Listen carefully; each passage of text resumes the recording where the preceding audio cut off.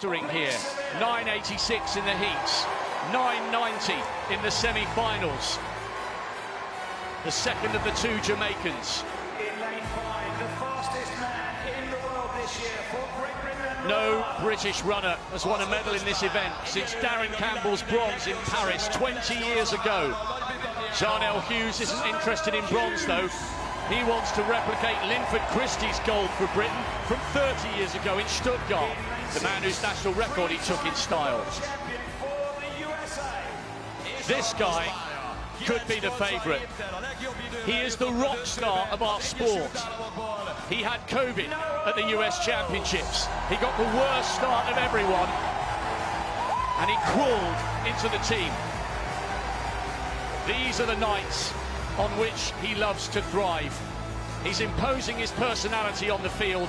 He's imposing his personality on our sport. But now he has to back up the talk with action. Ford Jamaica in two. Tebogo, Botswana three. Coleman, USA four. Hughes, Great Britain five. Lyles, USA six. Seville, Jamaica seven. Sani Brown, Japan in eight. Omanyala, Kenya in nine. One will be the world champion. Occasionally in life, there comes a moment in sport so utterly captivating and uncertain, it stops the world in its tracks. This is one such moment. This, without doubt, is one of the most open races we've ever had for this coveted title. Eight athletes are about to pour heart and soul into a 10 second bid for global glory. This is the men's 100 metre World Championship final.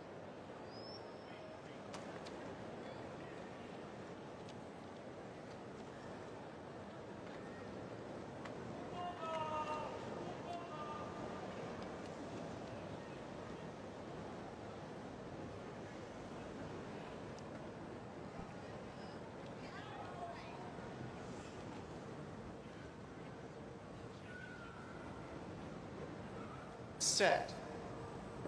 It's a clean start and what a race. A huge roar from the expectant crowd. Great start from Coleman, we expect that. Can Lyles come through? He's very, very tight. It's Noah Lyles! The champion roars once more. Tebogo ran really well on the far side, but it's Noah Lyles who has delivered on his promise. A great, great run from Coleman, but he's not quite the man he used to be. Noah Lyles promised us gold, and he's delivered. He has roared, said I wasn't the one. roared with the heart of the greatest. Thank God that I It's am. one thing talking about being brilliant, it's another to deliver. And he's done it in style. That was sensational. He's fast becoming one of our sport's all-time greats. Lyles, the 200 metre specialist, is the 100 metre champion here.